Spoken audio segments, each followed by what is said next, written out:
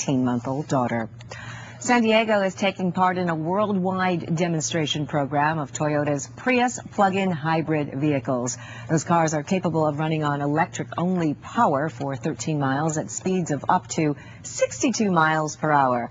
SDG&E and the California Center for Sustainable Energy received three of the vehicles today. They will assess their performance in real-world driving conditions over the next 12 months.